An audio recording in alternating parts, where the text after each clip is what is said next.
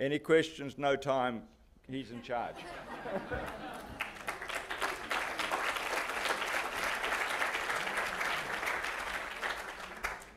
That's a hard act to follow, isn't it? Um, kia ora. My name's Keith Broome. I'm with the Department of Conservation in New Zealand, and I'm chairing this next session, which is uh, a subject dear to my heart, um, and that is uh, island biosecurity. And to uh, start us off and set the scene for us, uh, my good friend and colleague, uh, Dr. Ewan Kennedy. Thank you very much, Keith. Um, Keith, incidentally, as you can see behind me, is the co-author of this paper. Uh, when I speak in the first person, I often mean we. Um, uh, thank you very much indeed, Tony and the rest of your team, for the invitation to introduce the theme of biosecurity at this conference. In, fact, I think we've come late to the party. It's really gratifying to see the extent to which biosecurity has already muscled its way into the program. And I'm reassured too by the extent to which earlier speakers have already conveyed most of my messages. Well, I, I, hardly need remind an audience like this of biosecurity's importance for island restoration. And I hope I don't startle you uh, by arguing that it's actually the most important consideration, since it's the pest-free condition of an island which gives every other restoration activity its purpose and meaning. So including biosecurity at conferences of this kind can only be highly advantageous to our collective interests. That said, I've lost my pointer. that, that said, I'm very conscious of addressing a conference here of seasoned eradication warriors with uh, quite audacious credentials in your trade. You're a particularly formidable class of conservation Jesuit. And I, I, confess that my own credentials in your business are a little dated now. I acquired those through a project long ago, a pioneering project, which frankly prevailed more through bloody mindedness than know how, and is by today's standards a lesson in how not to go about eliminating pests from an island. Um, but that's a wrenching story for another day. There is, of course, a great deal in common between your eradication work and biosecurities. Above all, our two lines of labour spring from the same commanding imperative. So we are both kindred spirits and the two mutually dependent parts of the pest-free equation. Your job is to get the pests off islands, my job is to keep them off in perpetuity. So as I see it, uh, it's ultimately my job to put you out of business. Uh, I, I wish. Well, we don't always have an easy or a seamless working relationship, do we? In New Zealand, folk, folk like me are rightly exasperated when eradication planners treat biosecurity as an operational afterthought. Eradication teams are rightly exasperated at having to do their job twice or more often because of biosecurity failures. So before we proceed much further, let's get some truths on the table about our relationship.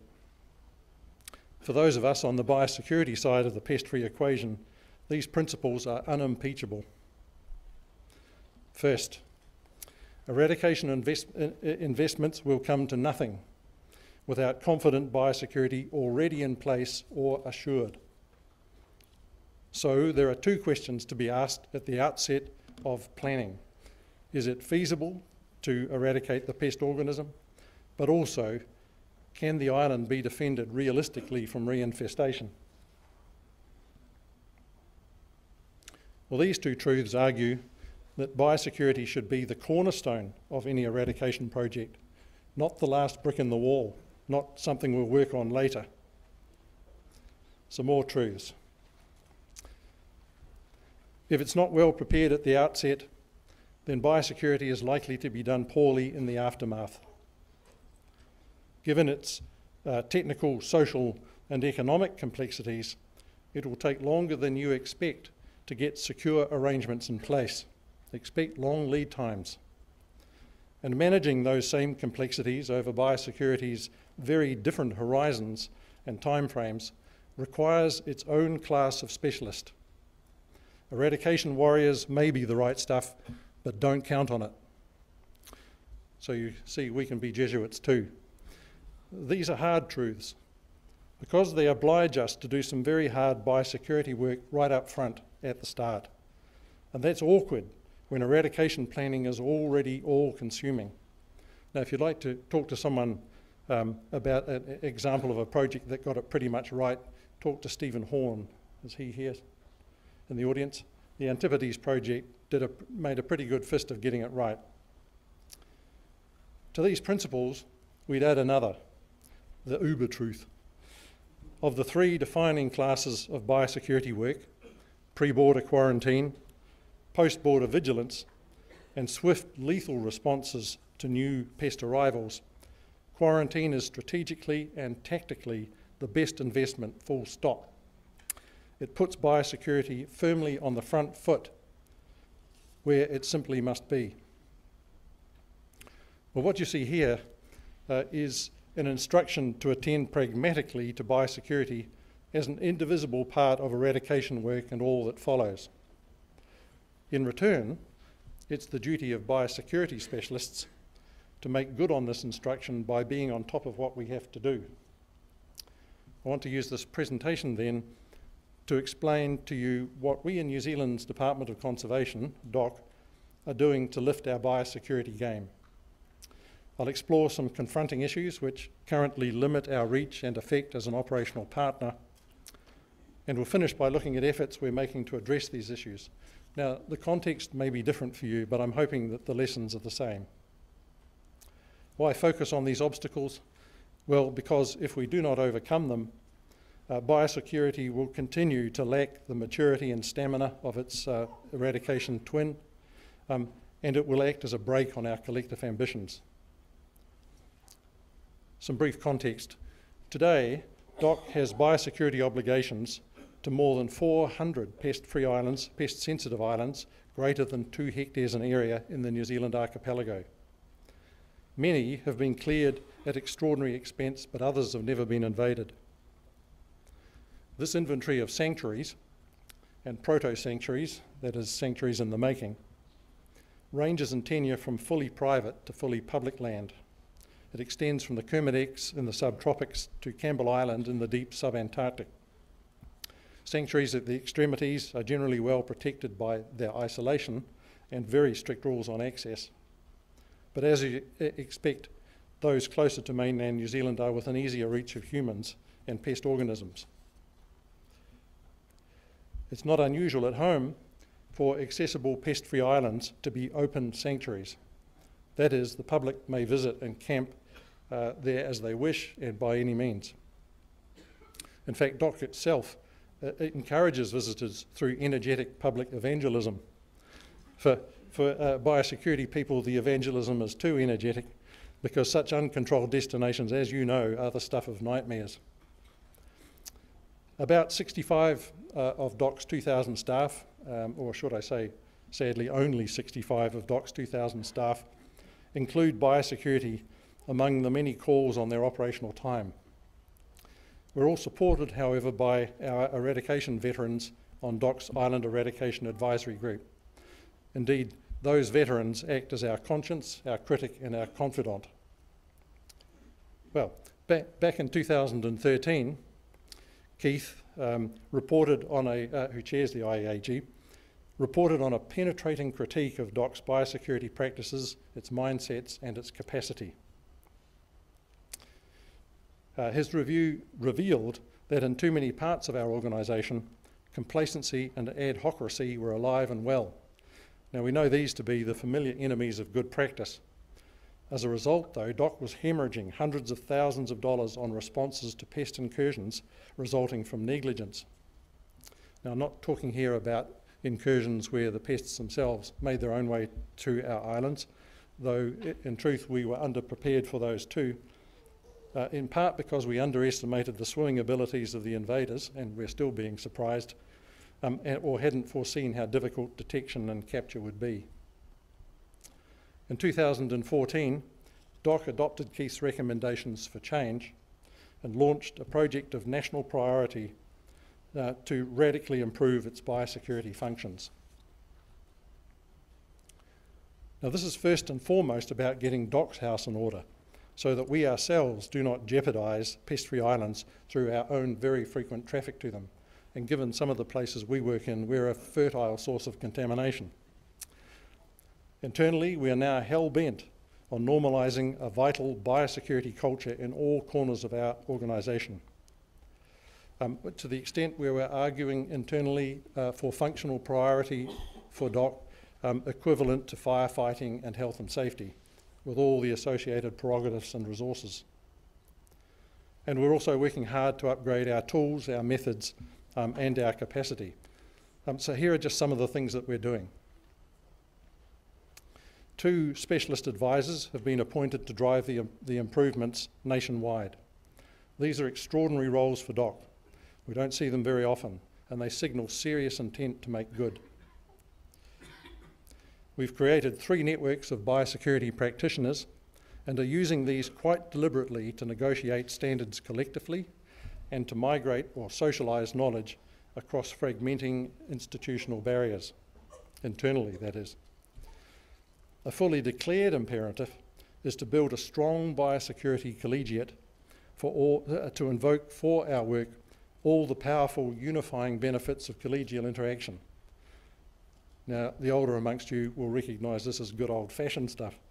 It, um, it, it, it, amounts to putting the thinking operator back into work otherwise governed by secularising systems, SOPs, and processes. But it allows us to increase our capacity um, by, um, um without having to increase the number of rangers. We just make them work more productively. Thanks to a formative partnership with New Zealand's Kiwibank, we are seeing an unprecedented expansion in our pest detection dog program. More handlers, more dogs, trained to detect more types of organisms, and more intensive coverage nationwide. We're preparing to update best practice prescriptions for all aspects of our work. These will be living prescriptions amended as we learn. Um, and since our blood under the fingernails practitioners take to writing like ducks to concrete, we are experimenting with simpler, more pragmatic forms of biosecurity plan. We've adopted the Coordinated Incident Management System, CIMS, internationally recognised system for managing crises, as our standard mode of response to incursions. This is giving us the assurance of swift, well-supported, appropriately targeted responses on the ground, guided by the best knowledge we have. Local rangers are no longer left to muddle their way through a response. And we make a point of apprenticing our novices to uh, CIMS teams on the job. We want to refit or replace our 40 plus quarantine facilities nationwide over the next 10 years. These secure stores are a primary pivot point for our biosecurity operations um, and are for all of our island operations and are its public face too and we're resuming systematic audits of local biosecurity practices and culture. Now, these are peer reviews. Neighbours review neighbours. Um, and we find this to be a highly constructive way of negotiating standards and sustaining them in our biosecurity community. Well, th there's a lot more I'd love to tell you about these um, and other lines of improvement. But right now I want to look at some of the more disconcerting challenges we've encountered along the way. Some of these, frankly, we should have expected, others ambushed us. In the main, they relate to biosecurity's sprawling social dimensions. And this is here be dragons country for most of us. Unlike you eradication specialists, we cannot avoid working with humans, the most idiosyncratic organism on the planet. And unlike you, we're not allowed to liquidate our, our target audience. We, we have two broad classes of human to deal with um, our own colleagues and the public whose contact with our islands is considerably more diverse and problematic. Of the two, uh, I wonder if you can guess which, the worst, we find that the worst offenders, the ones more resistant to biosecurity, are our colleagues. They reason that as conservation specialists, they can judge how much they need to comply with the rules. They can judge the risks. Well, this is so frustrating. This is the expert mindset at work. It translates biosecurity from an essential good into an irritating necessity.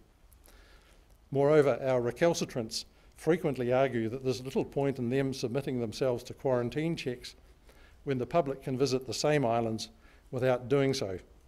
And this has resulted in quite disabling pressure internally to reduce quarantine standards. Well, how do we defeat this dismal reasoning? Um, we use a different logic. Biosecurity, we say, can only minimise the risks, not extinguish them altogether. So if some of an island's visitors are guaranteed pest-free, then the risk is reduced accordingly. But two other features of biosecurity compound our problems with resistance internally. We all know this in our waters. Biosecurity has an image problem. When, when everything works as it should, nothing happens. And unlike your heroic eradication work, it's much less glamorous, more open-ended, um, and not so dramatically rewarded. Reputations are simply not made in this business as they are in yours. So we have to find really creative ways to increase its appeal. I'm really drawn to Tony's evocative slow motion filmmaking. I've got an idea there. Second, intercepting very little year after year may be wildly exciting for us, but for resource stressed goal directed colleagues, nil results argue for shifting effort from biosecurity to other more obviously productive work. We find then that our colleagues are inclined to treat biosecurity as an insurance policy on which it's safe to avoid paying the premiums.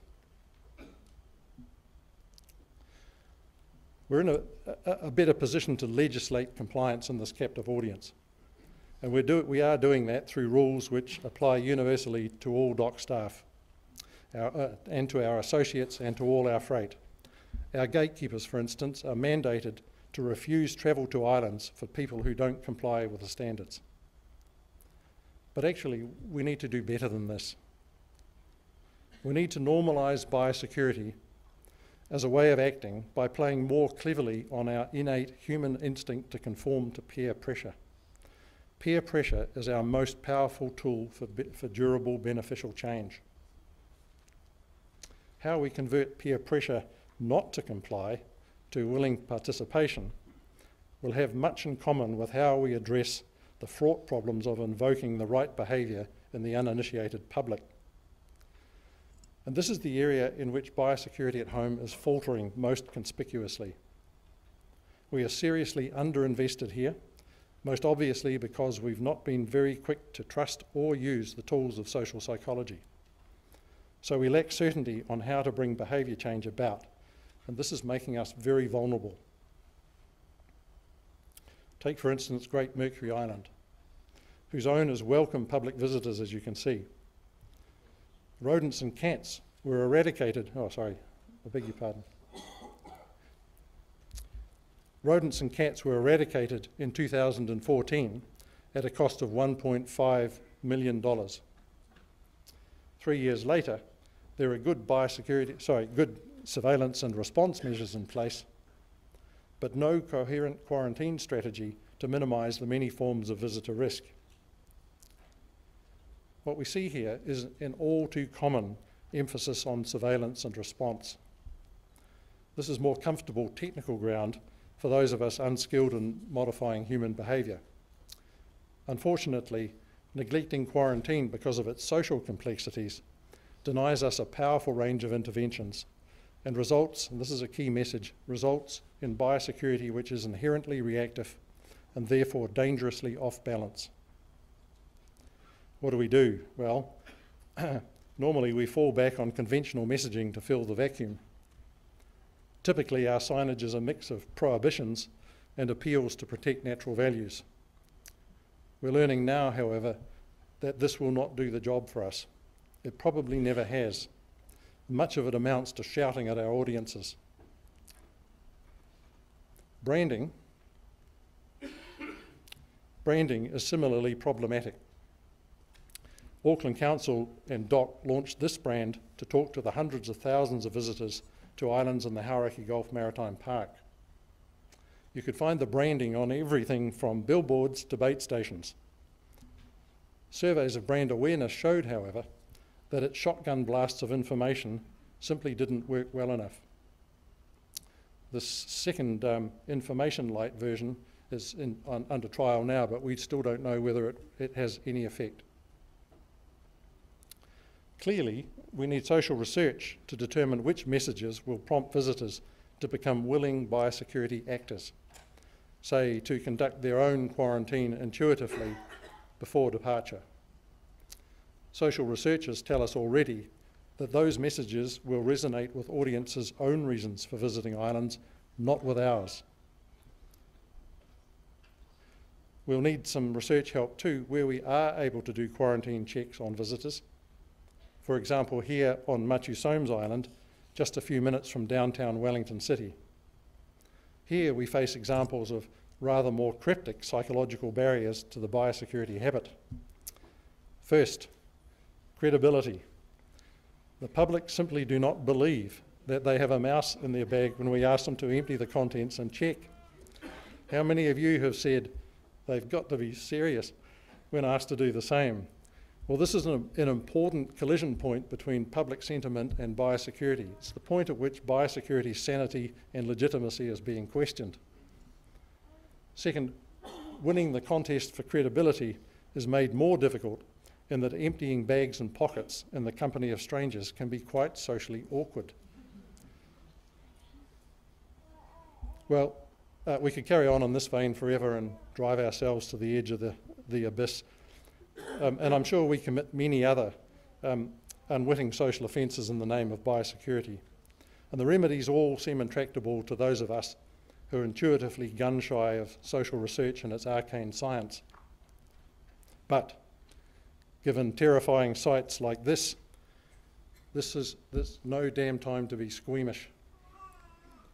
I want to finish then by telling you very briefly about how we've begun to confront some of these challenges. First, we recognise that managing biosecurity's social dimensions requires the right kind of operator. Not all field ecologists have the necessary manner or motivations, and quite frankly, some of us should never be allowed near the public at all. We have learned the important principle, the very important principle, that our colleagues and public alike must see for themselves before they'll accept the improbable. So we must replace talking with videos, photos, eyewitnesses, evidence, above all, evidence and stories. And a liberating behaviour change of our own. Uh, we're learning to, be, to approach this work reflexively, to, to be suspicious of the assumptions we make about our audiences. Here's a simple example. When we ask them to check for pests in their gear, what do they think a pest is? Come to think of it, what do they think check means? And we are sexing this show up by using our pest detection dogs as ambassadors and champions. They do this way better than anyone else. And no matter what the media or the audience, our dogs can convey all our messages instantaneously by their presence and in the wag of a tail.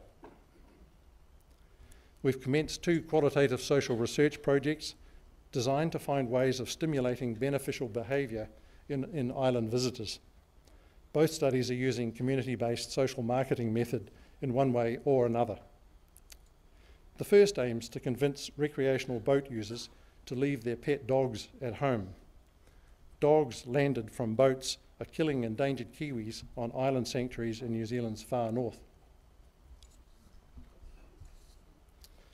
Incidentally, this study's findings so far on what prompted boat owners to bring their dogs out on the water in the first place and then put them ashore to do a dump um, have confounded most of our assumptions about this target audience and what would work to change their behaviour. And if we have time, I'd love to tell you what some of those findings were.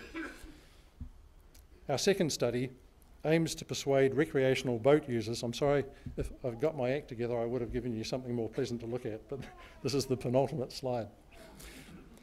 Our second study aims to persuade recreational boat users to check their vessels and their gear before, for pests before they leave home, in the driveway before they, they turn the ignition switch.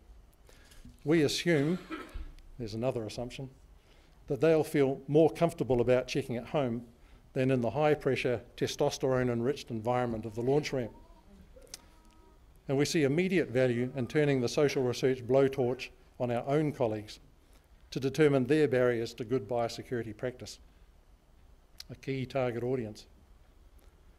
Well, these are small steps, and we're not going to engineer a paradigm shift just yet.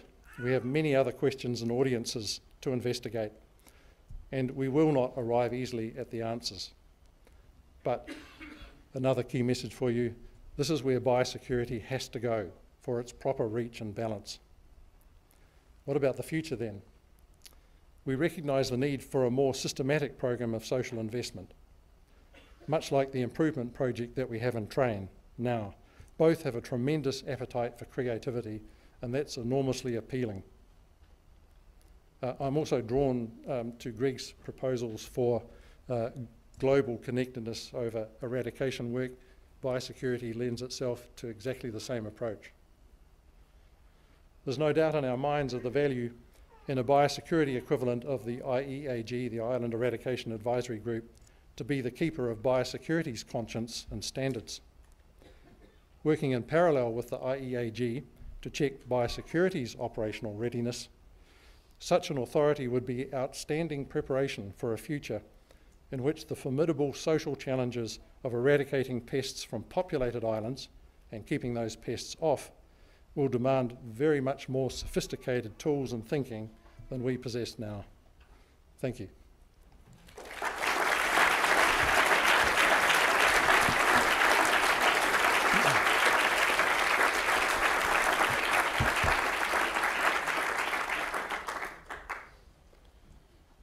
Okay, um, I think we started a little late, so we'll just uh, roll right on there. If you've got questions for you, and um, there's still time to uh, catch them in the breaks. Now I want to introduce uh, Professor Mike Richardson, who's going to pick up on a theme that uh, uh, Tony Martin alluded to uh, in his great presentation on the South Georgia eradication. Um, and Mike's talking about the post-eradication biosecurity on South Georgia.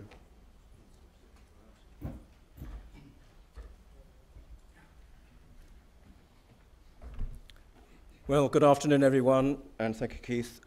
Um, this is a joint presentation between myself and John Croxall. Both John and I are uh, long-standing trustees of the South Georgia uh, Heritage Trust. In this talk, we, we want to look at uh, specifically to examine what biosecurity lessons uh, uh, have been learnt from the South Georgia project and what is now needed to prevent uh, reinvasion of rodents.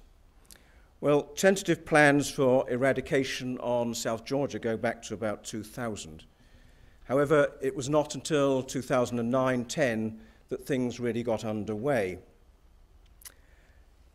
with serious progress now being made. And it unfolded thereafter, as Tony so ably described to us on Monday evening, with three phases of baiting, each at two-year intervals.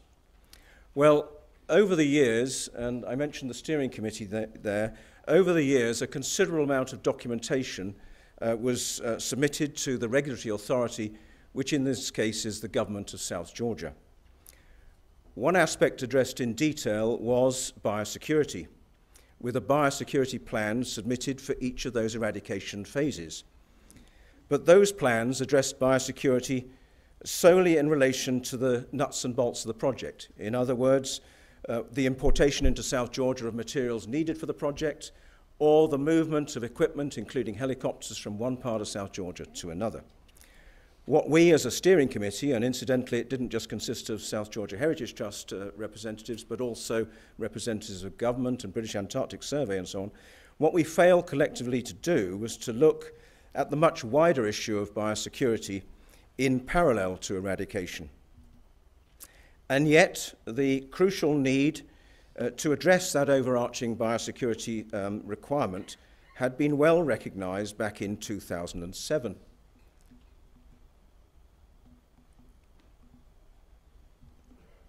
And indeed, this highly pertinent uh, statement incidentally came from the South Georgia government. Well, despite this uh, failing on biosecurity, we appeared to be making good progress.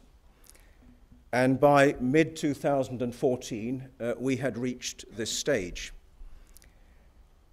We were optimistic, uh, things appeared to be looking good. But that optimism was somewhat shattered in late October of 2014.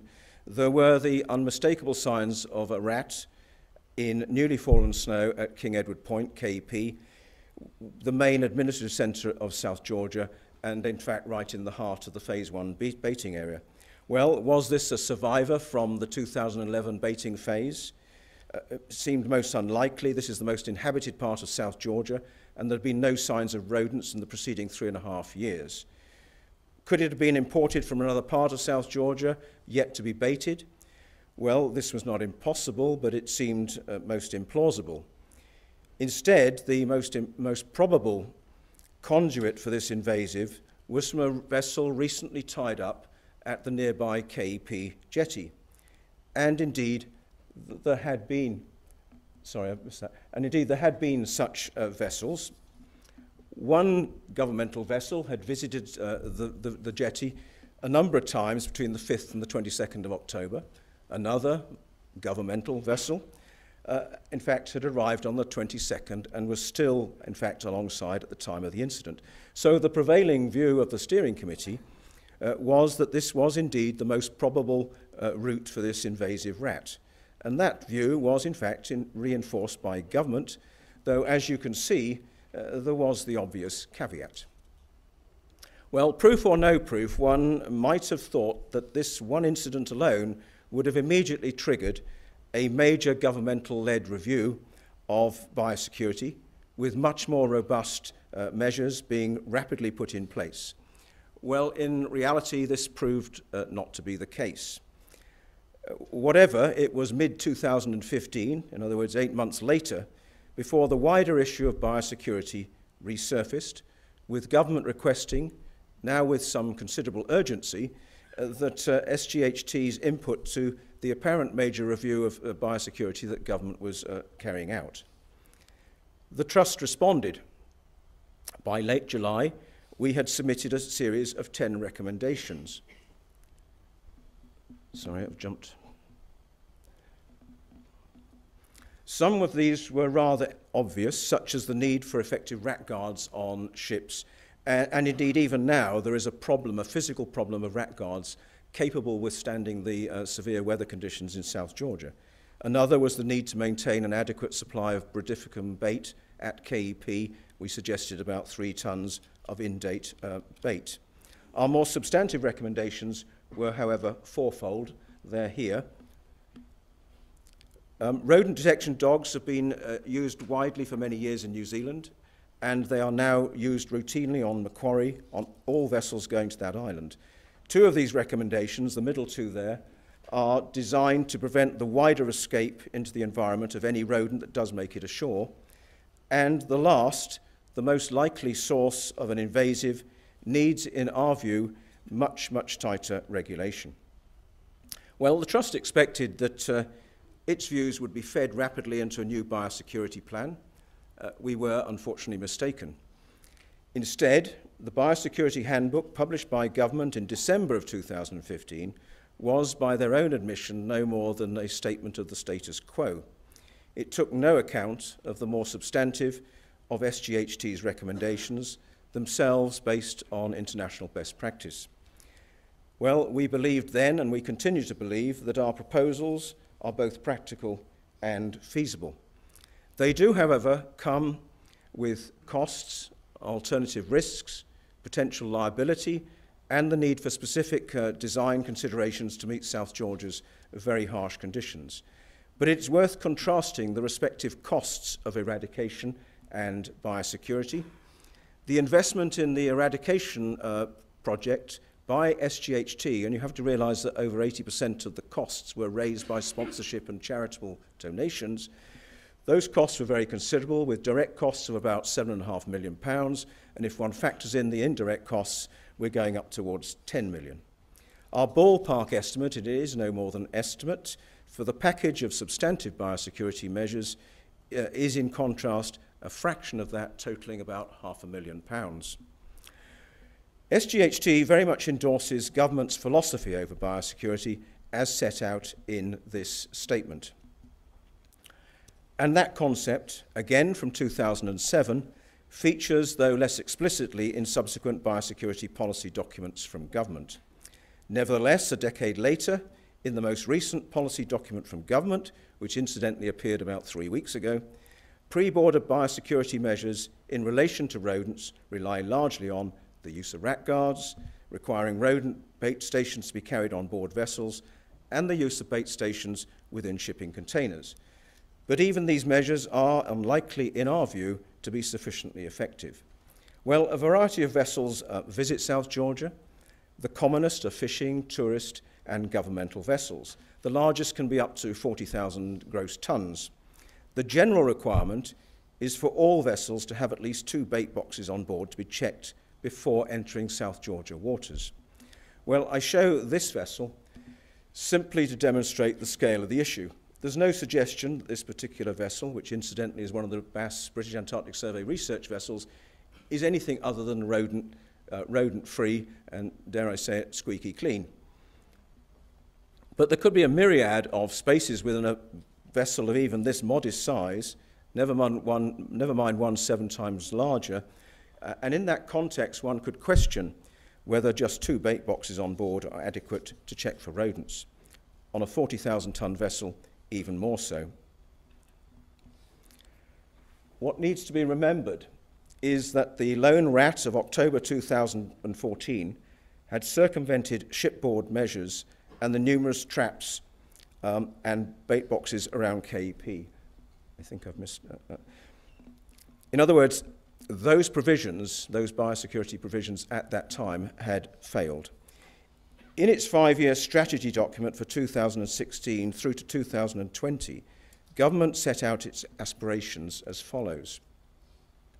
Well, amongst these uh, yardsticks and the fact that best practice can be readily found elsewhere, for example on Macquarie, what actions have been taken with regard to SGHT's more substantive recommendations? And to date, unfortunately, one has to say that none has yet been implemented. However, as of 15 June, very recently, and on a much more positive note, we understand that government is now exploring, and I underline that word, these three issues. It has taken repeated approaches from government by SGHT on biosecurity with other NGOs, including highly influential UK based organisations, more recently adding their voice to get this far. Well, biosecurity is not just about uh, adequate measures being put in place. But crucially, it is also about the timing of implementation of those measures. So, even if these provisions uh, are, fully in place, for some of them, it will be not far short of a decade since this part of South Georgia was baited in phase one of the eradication pro program. In summary, Despite the apparent success of the world's largest island rodent eradication project on South Georgia, there have been failings from which lessons need to be learnt. And here I would include criticism of our steering committee collectively.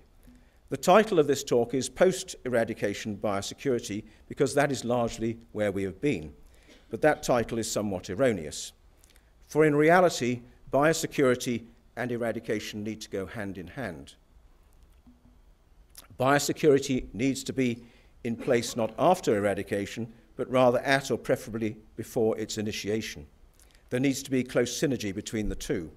And this is particularly so when two organisations, perhaps of very contrasting uh, status, are involved, as has been the case on South Georgia.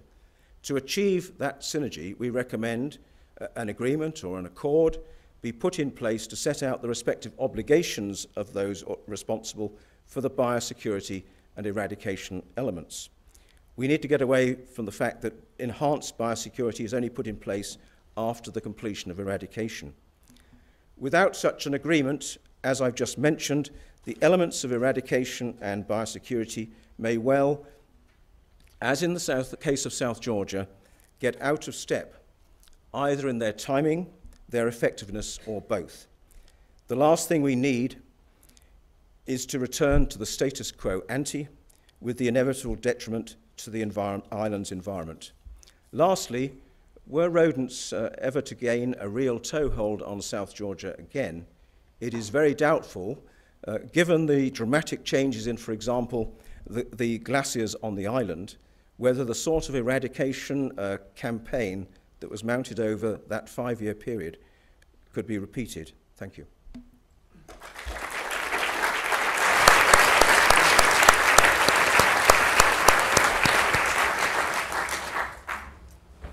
Okay, uh, next up is Dr. Jill Key, and uh, Jill's going to tell us about island biosecurity in St Helena.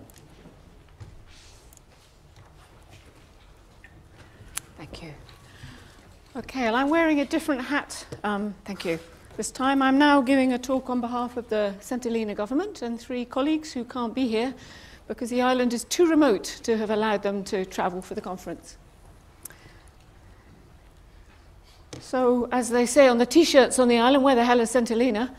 Um, you've seen lots of little fly specks at the bottom of the South Atlantic. Here's another one. Um, St. Helena is a very small island. It's 10 miles by 5, 47 square miles. It's 1,200 miles in South Africa. And it's got a population of 4,500. So it's a tiny little place. And of course, that isolation has served it very well as a barrier. Um, it's got very high biodiversity. There's a third percent endemism, mostly invertebrates. Um, and from the biosecurity perspective, of course, there's very limited vectors coming in in a single pathway because there is only one supply vessel, which is this one, half cargo, half passengers. It visits about 25 times a year between Cape Town, 1,200 miles away, five nights, and Ascension Island, two or three nights, 700 miles away in the other direction. And of course, this serves as a kind of quarantine period for uh, a lot of goods and commodities on the ship. Now, back in 2010, the UK government announced that they were going to build an airstrip, an airport. Um, this was finally opened this year, although we still don't have commercial flights. And is, of course, a new pathway to the island for the first time. It's actually two new pathways.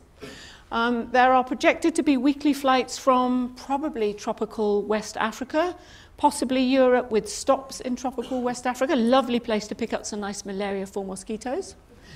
And of course, the construction phase means bringing in vast quantities of commodities.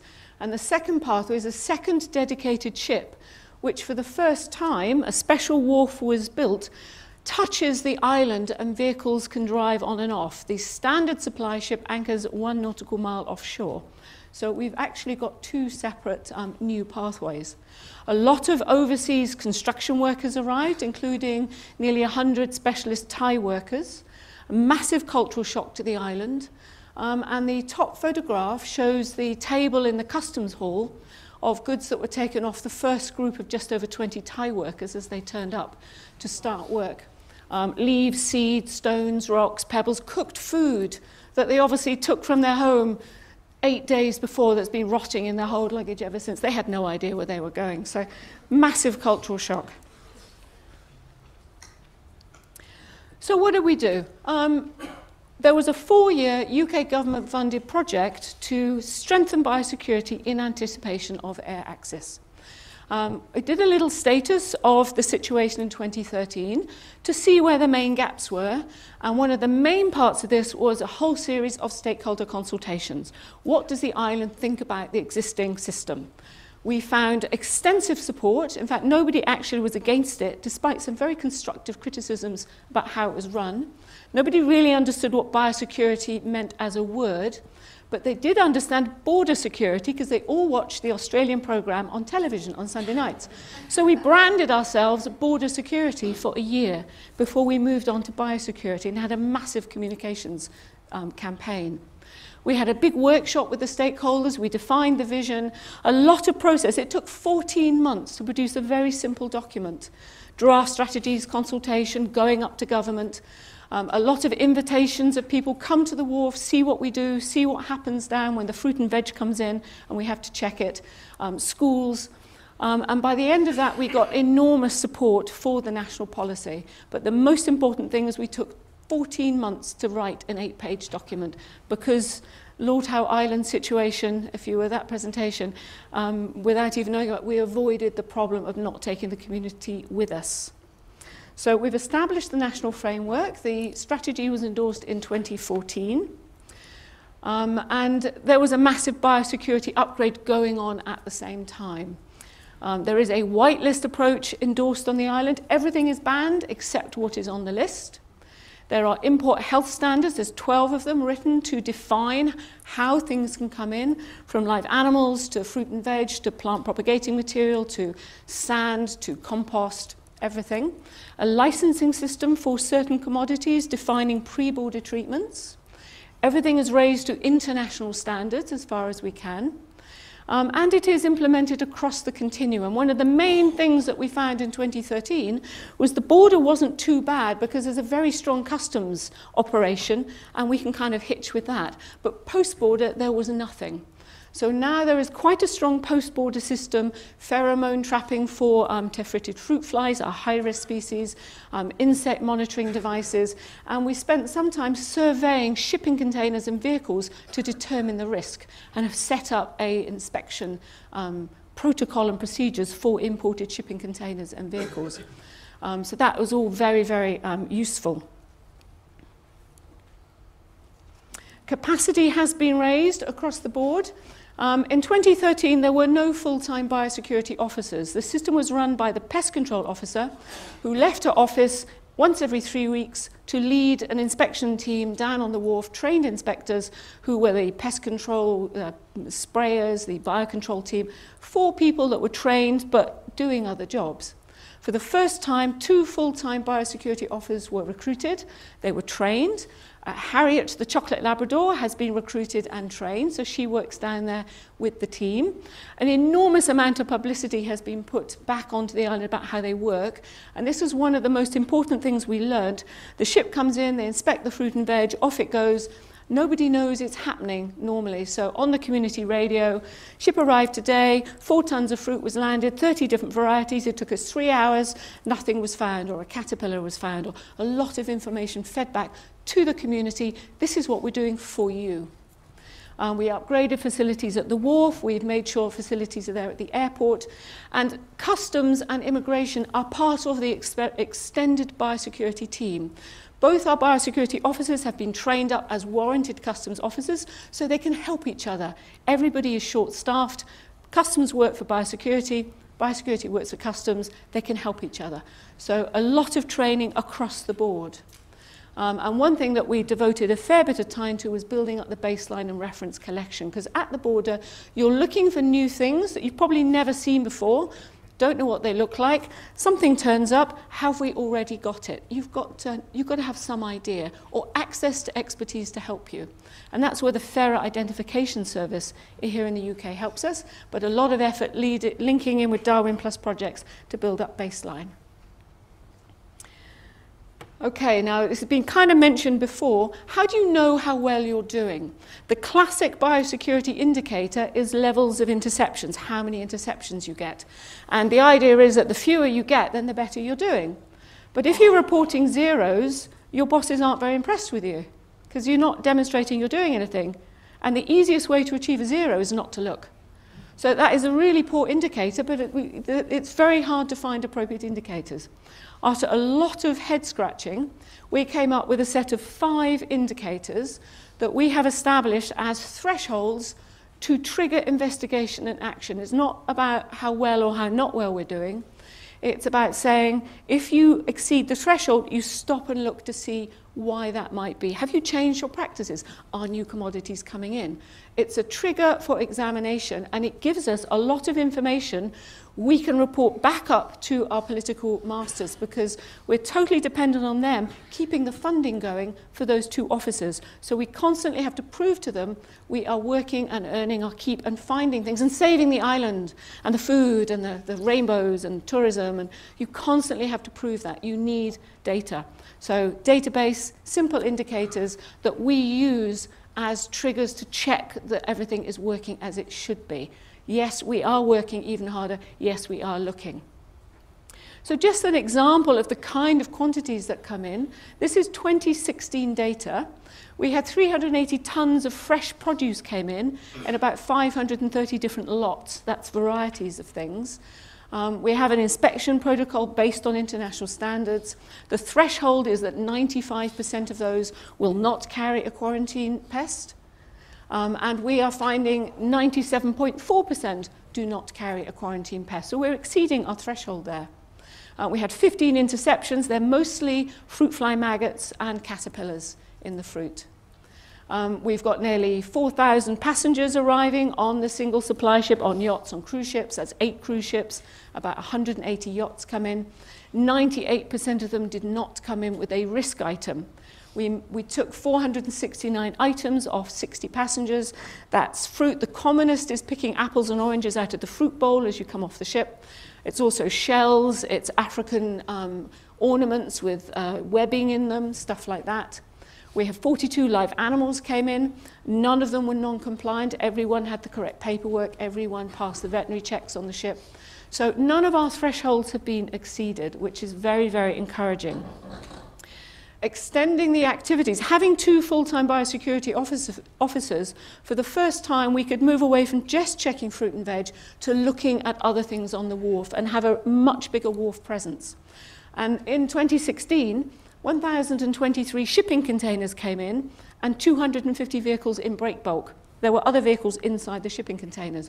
We checked a certain proportion of these, and two things stood out. 40% of the vehicles had compacted soil, particularly under the rear wheel arches. And we collected it all, we put it out, we tried to germinate stuff for up to three months. A lot of lawn grass appeared and the odd little weed, um, nothing major. Um, we picked up 98 live spiders of at least seven species from shipping containers inside the doors and the vehicles, particularly the gap behind the wing mirrors. All that has been fed back through the, um, the chain, and we've now got protocols for checking these vehicles pre-border, and all those um, incidences have really gone down. So very successful, lots of data, and lots and lots of publicity. We found a lovely big fat brown widow spider on one of these things. Headlines in the local paper, we've saved you from spider invasion and death by, by spiders. Um, challenges, when you're living in a very small community of four and a half thousand people or less, it's very hard to stand there, open the suitcase, look at everybody's stuff, and take things off people. Um, St. Helena has strong customs, and so we're able to ride on the back of that, but it does present a challenge to the operators. You have to be very professional. The dog helps, and we have an x-ray scanner. It, it neutralizes inspection. You only open things where there is a reason to do that. You rely very, very heavily on public awareness and compliance.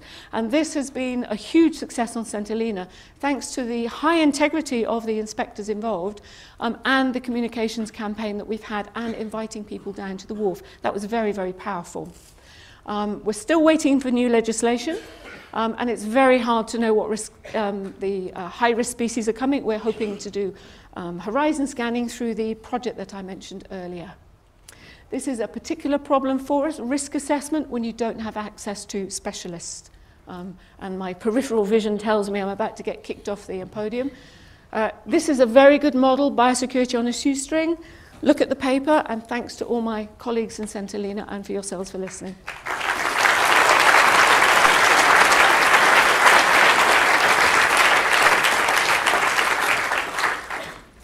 Thanks, Jill. There's some, some great stuff there. Um, next up is some more great stuff from uh, Mexico. This is uh, Mariam Latofski. Yeah. Uh, who's going to tell us about the uh, biosecurity program in Mexico.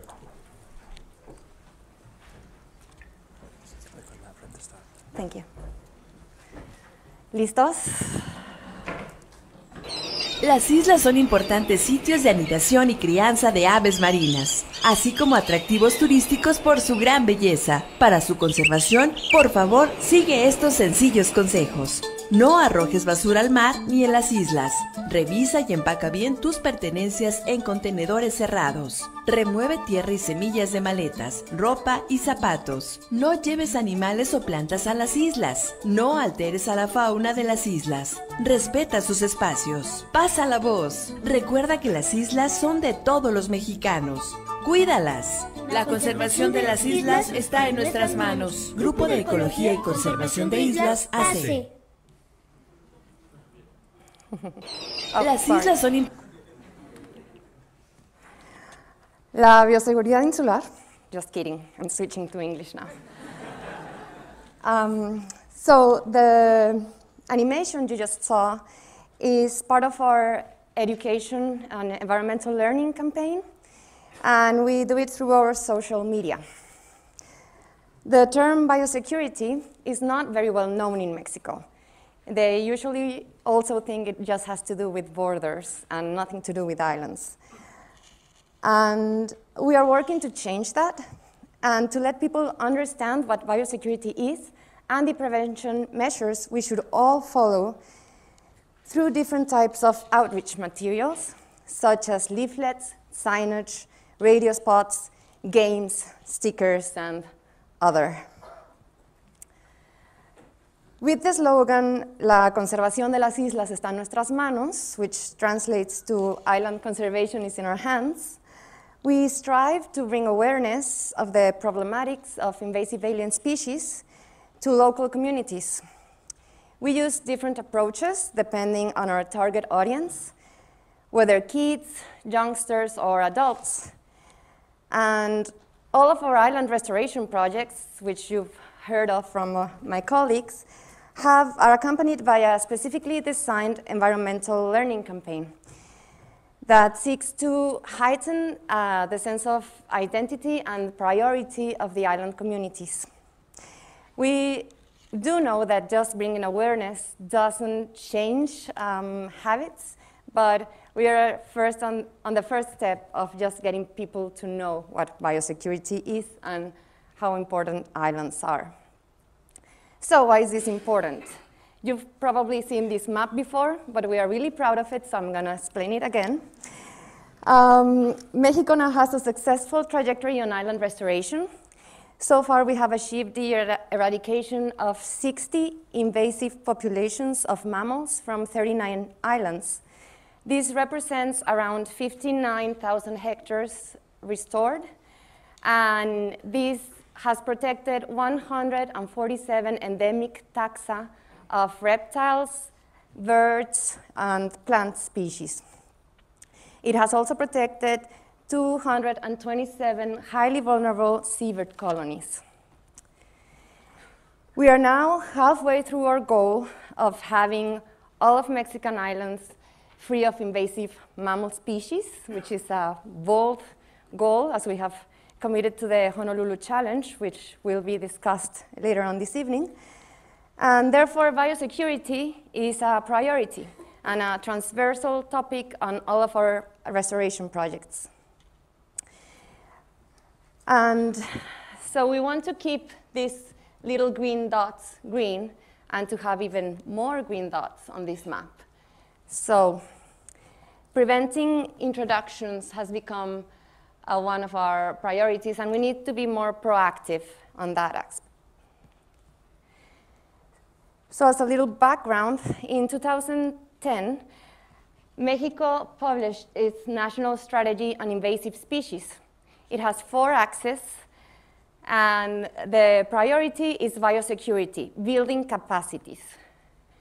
Uh, the second one is environmental learning and outreach. The, th- the third is invasive alien species management and monitoring. What have we gained from all our investments?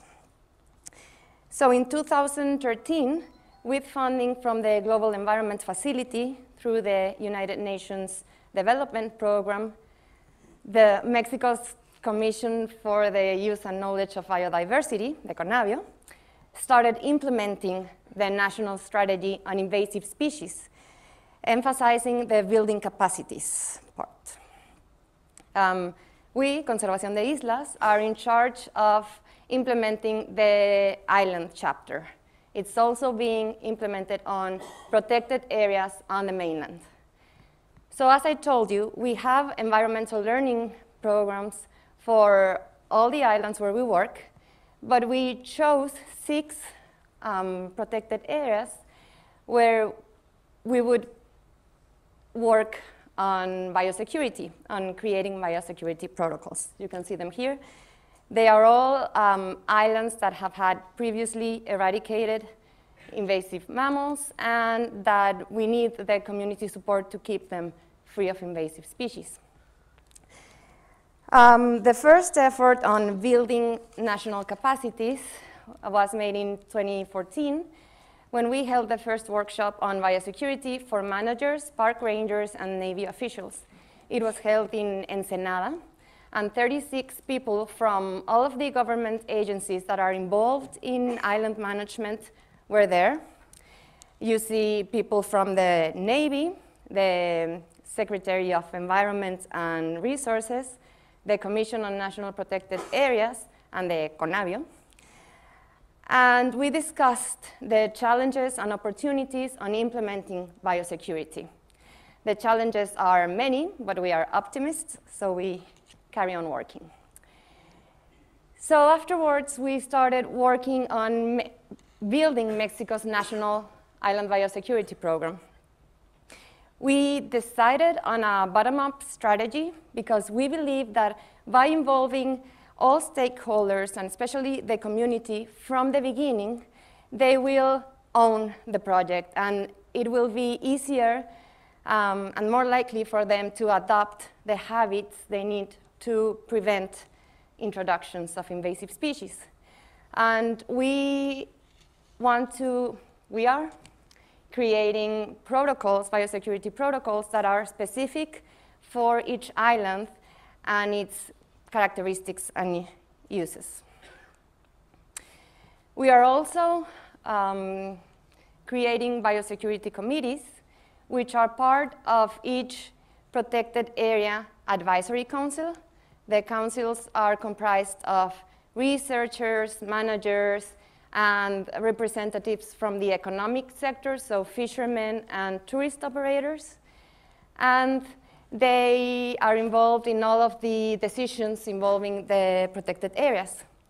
So they are also involved in creating and formulating the biosecurity protocols, and they'll be in charge of the implementation and the evaluation of the protocols. We also hope they'll, they'll be procuring funding for biosecurity in the long run. So, what have we achieved? So far, we have, after around 20 workshops, um, we have six drafts under review by the biosecurity committees and the governmental agencies involved with specific prevention measures. So through these workshops, we talked to the community, especially the fishermen and the tourist operators that visit some of the islands frequently, and we found the critical control points where we should prioritize our efforts, whether for prevention or early detection. And we are designing the protocols so that um, they would be easily read and understood, and also so that the government agencies know which part they should implement, and also for the people. So socializing the protocols is a very important part in order for them to be implemented. So we've designed different material, such as this signage, which we have put both on mainland and on the islands, whenever uh, where people land. And so we hope that people are following the prevention measures they all have this kind of um, blue and yellow design. And we now see that um, they are um, identifying these colors with biosecurity. So we're hoping that's good. Informal implementation of biosecurity is underway. Um, we see especially by the communities and it's mostly for the early detection devices we have set on the islands, and the communities are regularly checking on them. And whenever we visit the island, we also uh, check on them. But especially for prevention, we see that we have a more informed society that has learned they have to raise the alarm whenever they suspect of an incursion. And so that happened, for example, in Arrecife Alacranes, when the, a Navy officer saw a, a bar of soap that had little bites on it. So they immediately told CONANP, who contacted us, and we were able to get there quick enough and do our um, response plan and caught the first, the only rat on the first night. So we are now sure there are no more rats on the island. So we have learned a lot. First of all, we need to institutionalize our biosecurity program. It's very important to sign agreements with the government in order for the program to um, be formally implemented and, and so that people know they have to comply. Um, it's also better to involve the Protected Area Advisory Council from the beginning, um, and they push the government agencies to institutionalize the program. Straightforward communication between stakeholders is most important for a rapid response plan. And we need permanent environmental learning campaigns, and we hope we, to do them with local organizations so that whenever we leave the communities, someone is there still um, spreading the word around biosecurity. A lot of people is involved in our projects, and we are thankful to them all. Thank you.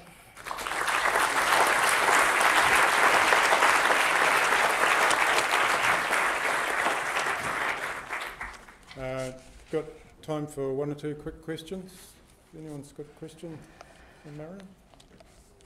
Up in the corner, if you can just wait for the microphone, please. There's a microphone. Just uh, a couple rows up.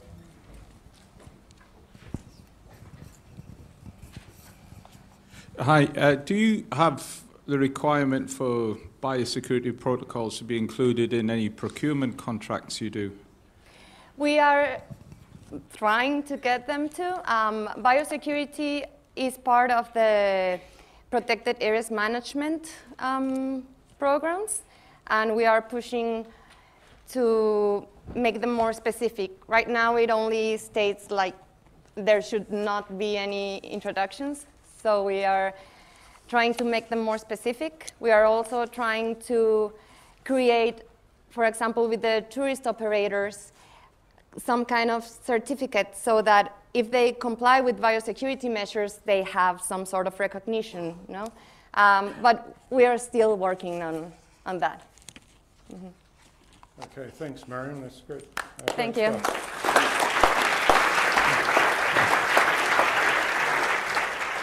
And now we're going to move up the coast a little further to the Channel Islands.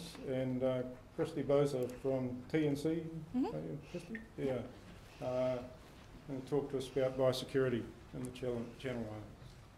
Hi, everybody. Uh, yeah, thanks for staying for the last talk of the day. And of all things, I'm talking to you about compliance permitting. So hopefully I'll get, get you out of here pretty quickly. Um, but uh, I'd like to start by acknowledging my co-authors as well as the organizations that have been working with us on this program. Uh, to give you a reference point, I mostly work on the California Channel Islands, our which are eight islands located off the coast of Southern California, owned by the National Park Service, uh, private conservancies, and the US Navy. Uh, it's the home of the first rat eradication in the US, uh, which Greg talked about, uh, conducted in the year 2000, as well as a number of other eradications of vertebrates that have occurred, um, invertebrates and plants. Uh, and something to note is that some of those eradications have been quite controversial. Um, I believe we were taken to court nine times uh, over a pig eradication uh, and turkey eradication, as well as uh, some controversy over the rat eradication. So this is located, we're located in a community that really does pay attention to what, what is happening on these islands, um, and we've staked our reputation on the efficacy of the eradications that have occurred. Um, and there's, there's a good reason for them to pay attention. There's a lot of, of really interesting, amazing, endemic, uh, rare species on these islands, including the Channel Islands fox, which was recently taken off the endangered species list in August of last year. Uh, also, we re reintroduced bald eagles to the island about two decades ago. Uh, we have the only insular endemic uh, bird species in North America, the island scrub jay, as well as native mice, uh, skunks, a bunch of other species, all of which are really, really cool, amazing animals, but also um, many of them are or would be impacted by rodenticide, and we would have to consider non-target effects um, if we were to ever do any kind of other rodent eradication or control effort. Um, we did institute a, a, biosecurity program primarily based within the California Channel Islands archipelago. Uh, started formally in 2012 uh, with all of the landowning ent entities as well as a number of the island contractors, island users, folks that really have put their heart and soul into uh, protection of the islands. And there's a number of things that we're doing focused on prevention, uh, including hiring a biosecurity manager, uh, which is jointly, uh, she's jointly paid by the land uh, owning entities uh, to primarily focus on prevention, control of species before they go out to the island. Uh, but what I'm going to talk to you about today is, is kind of the other side of it, the side we have less control over right now, which is uh, you know, the potential for rats to come on a rat-free island due to uh, a grounding, a ship grounding or ship sinking or some other, some other mode of transport. Most of the time, this, this happens. It happens a couple times a year. It happened literally as I was sitting in the airport waiting to come over here. I get this text message about a sailboat. So um, this happens very frequently. We get small, small boats that come onto the island because people fall asleep at the wheel. Um, we have, uh, literally, and uh, we have uh, response kits available on each of the islands, uh, which can be deployed uh, if and when this happens. Uh, they're also with the Coast Guard and salvage companies. Most of these boats are very small, and it's unlikely there's a rat on them. In that case, you put out a rat kit, it's got some rat bait and a rat trap. Um, probably very, very unlikely there'd be any impacts to non-target species by putting out those bait stations on a boat that was grounded. However, what we're really concerned about is this sucker, right? So we have uh, shipping lanes that are go right through the middle of our channel. There are very large boats that, that come by. Um, so potentially we could be dealing with a situation where a large ship that is very likely to have a rat on board may crash in or sink um, close to one of our islands. Our islands are pretty large and our rat-free islands are pretty large.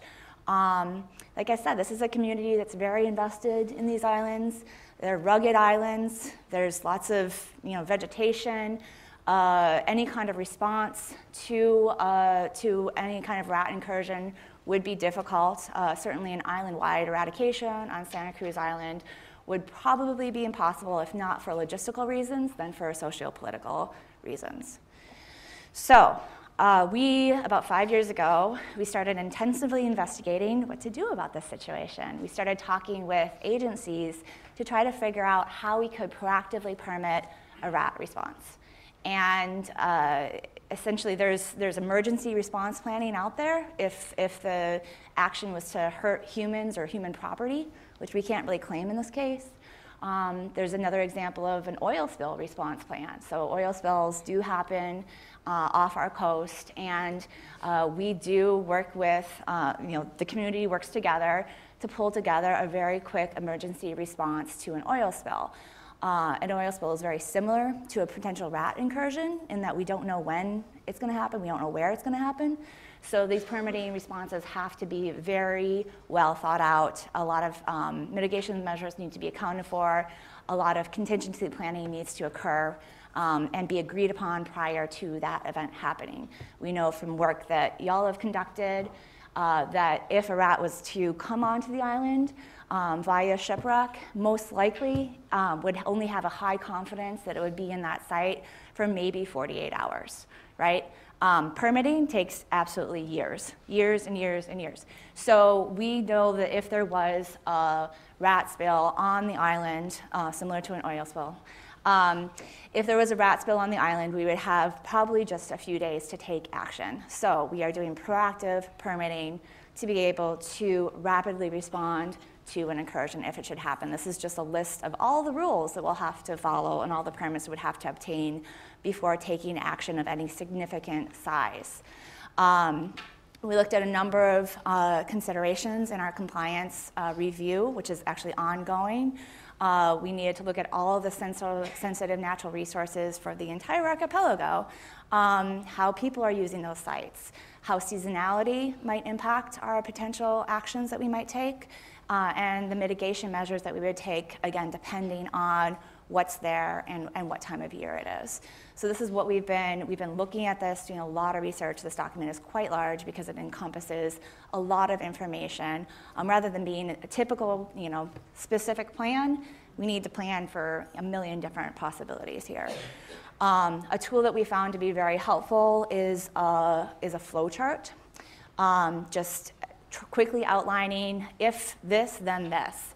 Um, because again, if a rat spill uh, shipwreck was to happen, if we think it's likely a rat is on board the island, we would need to make a decision about what actions to take very quickly um, and actually make a recommendation to the decision makers, which that person would then say go or no go. So, uh, so this flowchart hopefully uh, will be agreed to by all agencies, all parties prior to any event happening. And at that point, we'd be able to, again, make a recommendation very quickly as to what tools should be used. Another component of this document, um, which took us a while to figure out, is that we need to, we need to have every single possible action um, analyzed in this document, from just putting out cameras, because maybe it's too risky to do anything else, to maybe full-on rodenticide, you know, broadcasting uh, of an affected area. Um, so depending on what site it is, your supposed treatment area where you might want to treat, the assessment of the, the resources in that site, you, this flowchart would then help you direct you to a recommendation to be made in terms of the action that you would take. Uh, obvious point of uh, obvious point to note is that we need to have all of the storage of any um, baits, any cameras, any tools we want to use would have to have them stored um, in an accessible site prior to this happening. So again, you could act within 48 hours, not two weeks later when the bait comes in from across the country. Um, so this is our little storage area where we might, for instance, be storing two tons of rodenticide.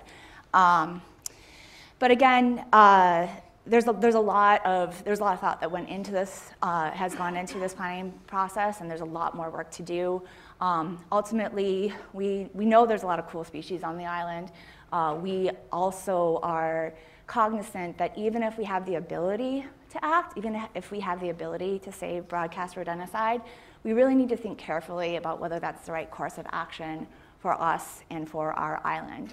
Um, potentially there are new tools on the horizon. Potentially there are uh, species-specific tools coming up in the next decade or so.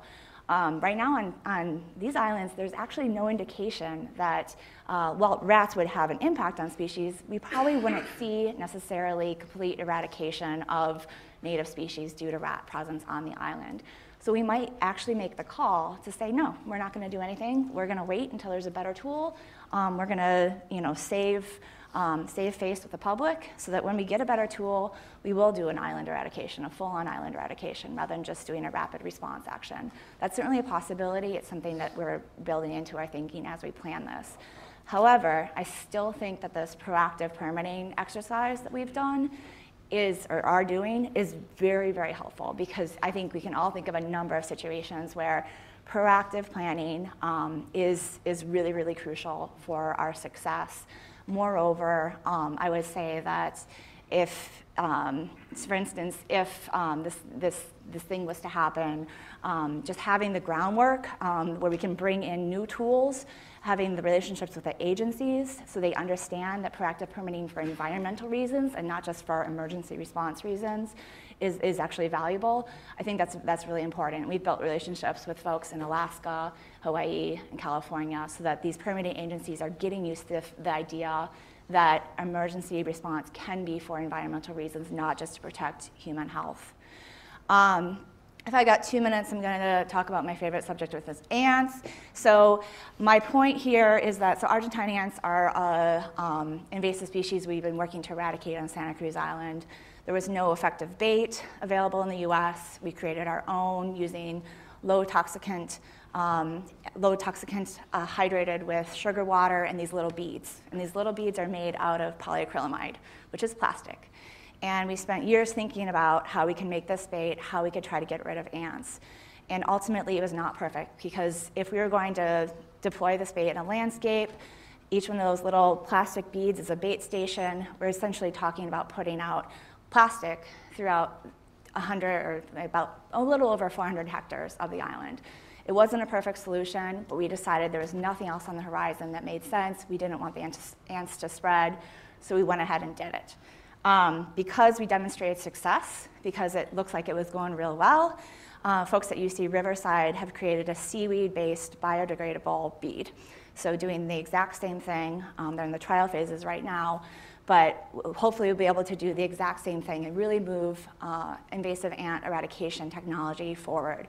And we never would have been able to do that if we hadn't made that leap to say it's not perfect, but it's good enough. We're going to demonstrate success, and other people are going to take it and run with it and make it better. Um, so back to I think Greg's point um, that he made at the, the beginning, I think sometimes incremental success is actually necessary, especially when the science is in its infancy. And I would say, my opinion is that uh, uh, insect eradication biology um, is really in, in, its infancy, and we need every single tool we can get to be able to scale up um, and make that program better. So even though the compliance document is not perfect, we might decide to change a whole bunch of it. At least we're introducing the idea of, of that proactive uh, compliance permitting with agencies so that tool can be utilized even as we pull in new tools and create new tools for the future. Thank you.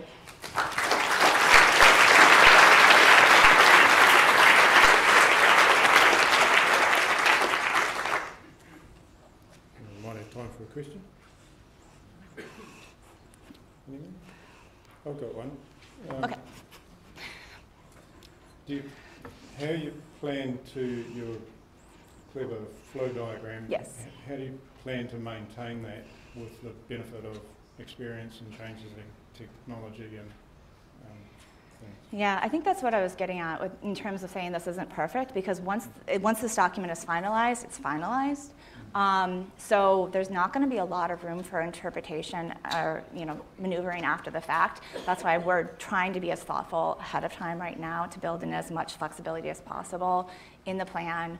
Um, that being said, these environmental compliance documents are um, are in some ways uh, changeable. I think there'd be a rough uh, interpretation that we could probably uh, amend through time. Um, certainly, sometimes uh, we want the document to hold up in court for sure, but I think that no matter what, um, there's, we're going to have to make the document so it's loose enough that it can be interpreted multiple ways. Yeah. Okay, uh, thanks, uh, thanks to all the speakers. And uh, it's been quite a stimulating uh, session this afternoon.